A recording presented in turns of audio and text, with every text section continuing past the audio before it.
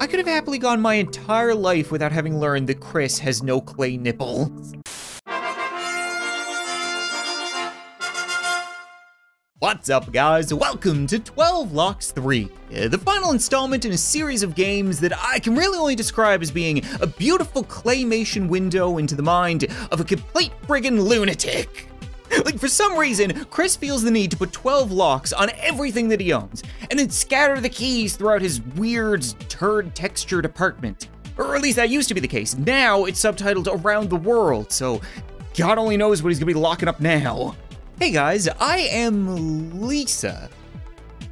Wasn't your name Liza in the first two games? If you're trying to come up with a pseudonym to escape your father, you might want to try being just a little bit more creative than that we decided to go on a journey around the world. Dad, why did you lock the door with 12 locks?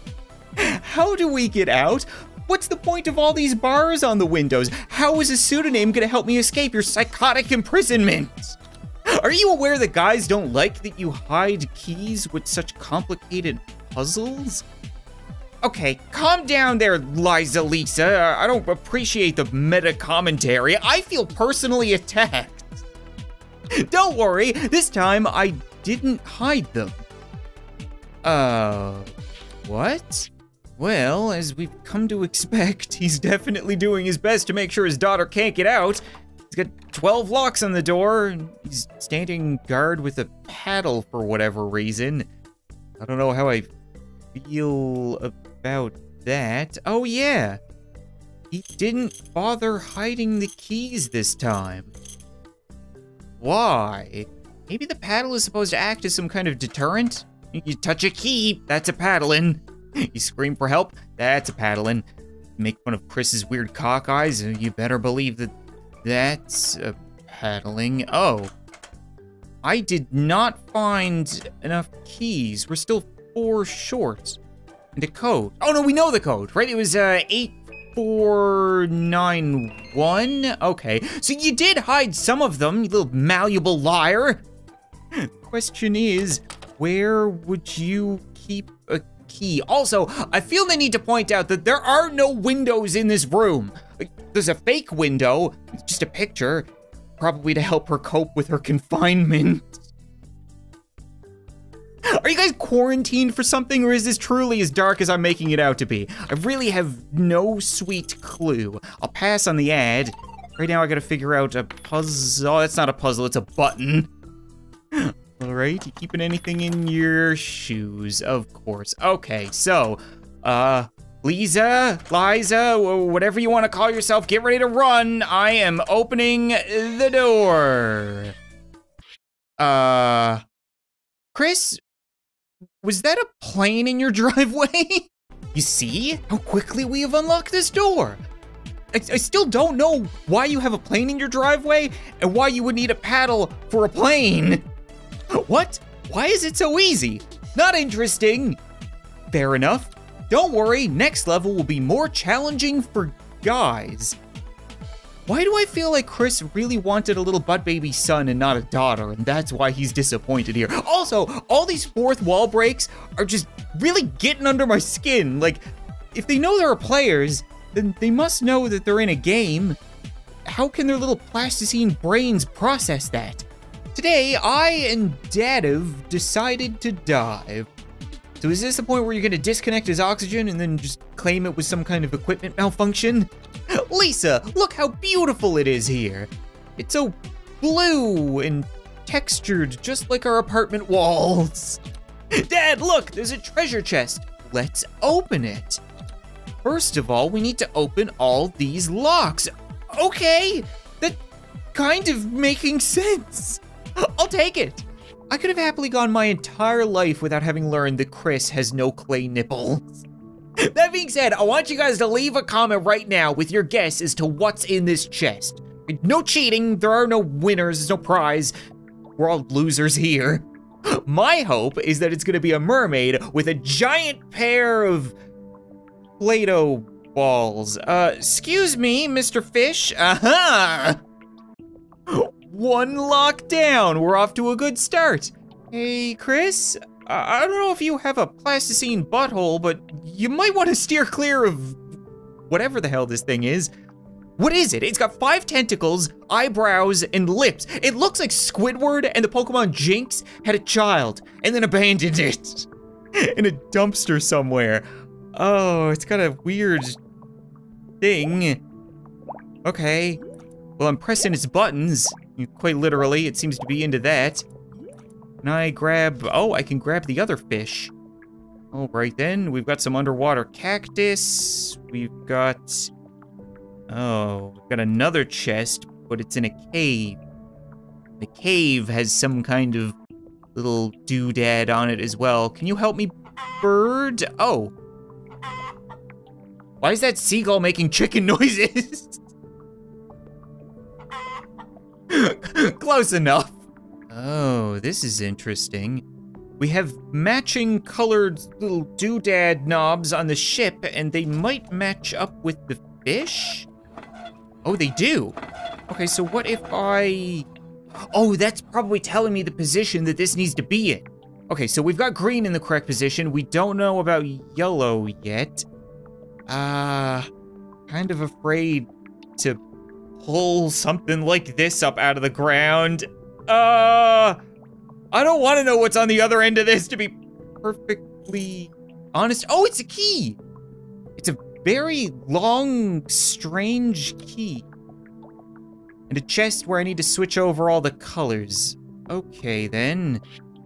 Oh, no. Why you gotta hit me with puzzles? That's gotta be good enough, right?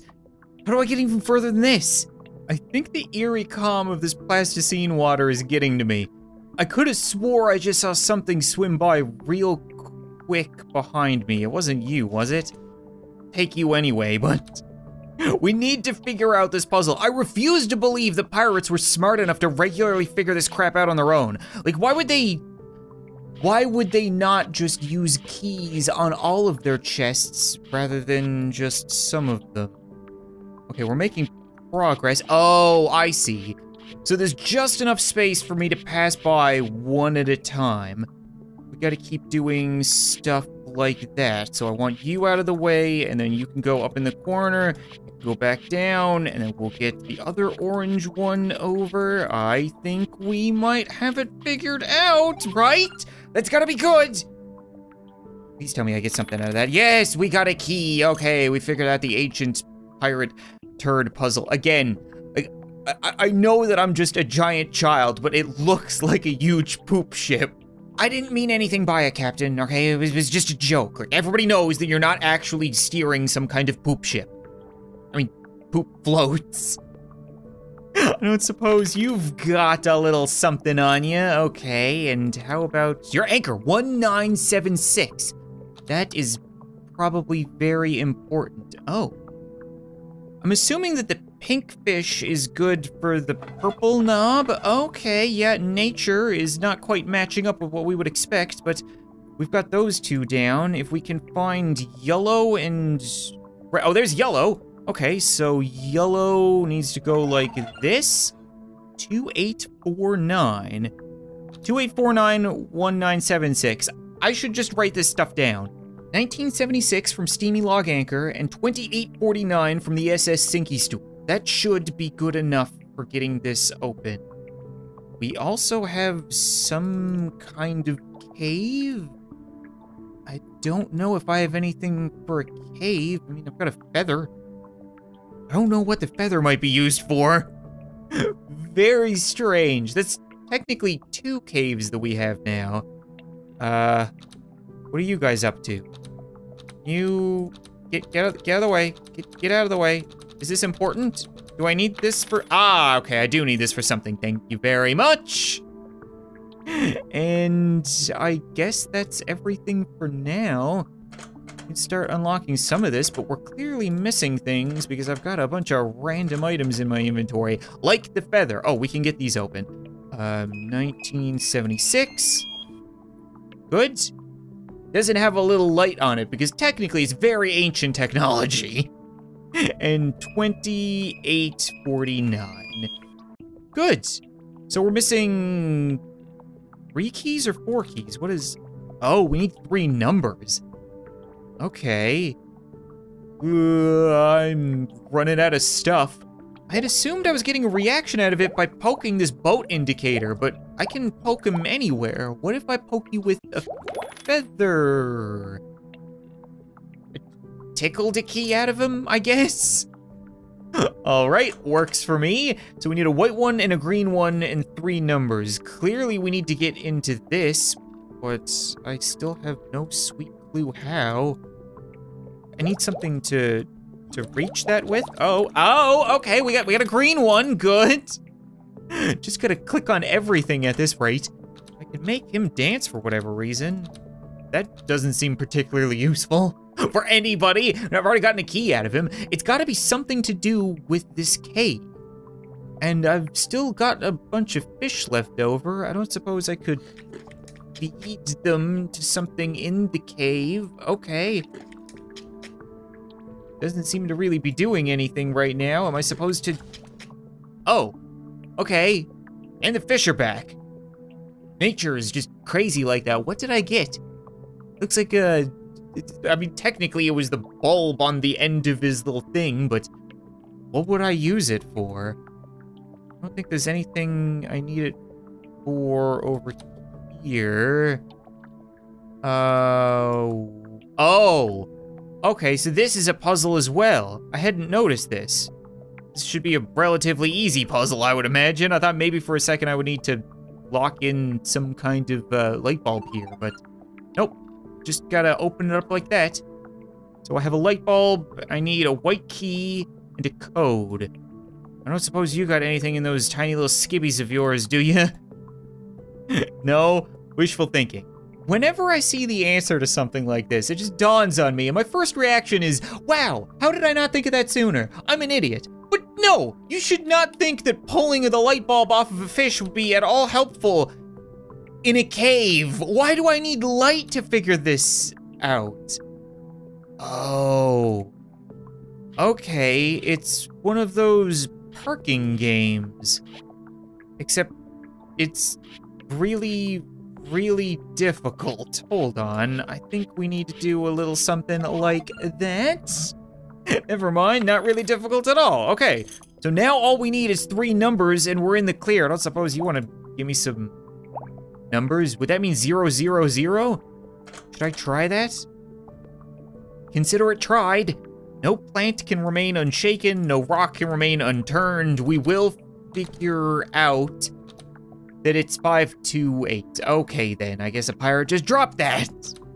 Let's see here.